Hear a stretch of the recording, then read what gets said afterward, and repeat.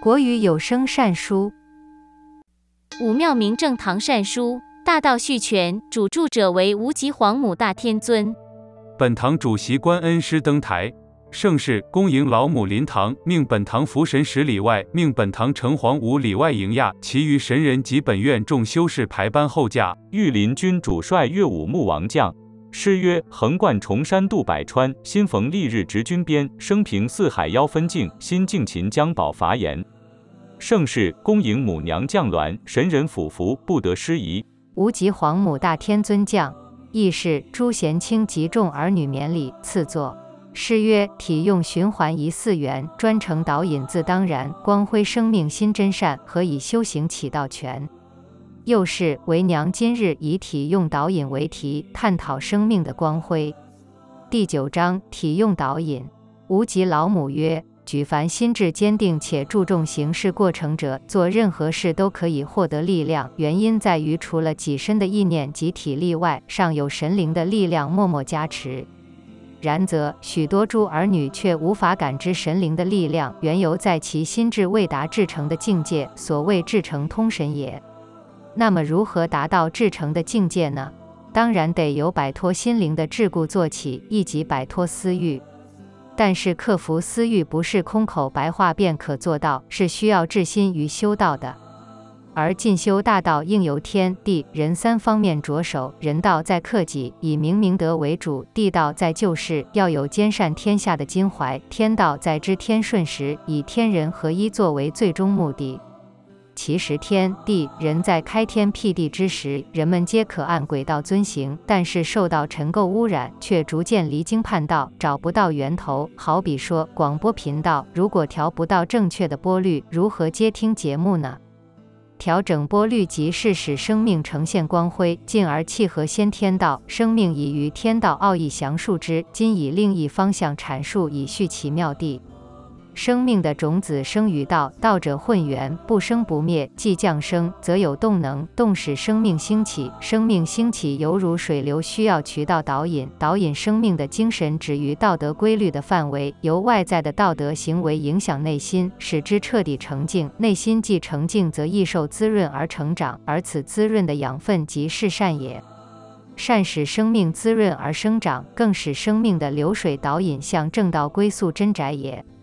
生命既受善的养分滋润，渐成光辉，则必须以兼爱的扩展为念，生命才能生化且永恒。生命需要滋润，然则讲生命的光辉无需从有，无讲起，应由自然起始。老子曰：“致虚极，守静笃。”虚与静是克制我与物的二大利器。当然也可从体中有用，用中有体，体用合一说起。比如一者体也，一生万物；一即体中有用，万物者用也，一藏纳其中；一即用中有体也。如果将体与用合而为一，即是诸儿女修行的过程，体悟修行的过程，从中逐渐产生光辉，又何必在乎有无的生老病死、见贵穷通？换言之，即诸儿女注重修道的过程，即是使生命澄净发光，达到解脱的境界也。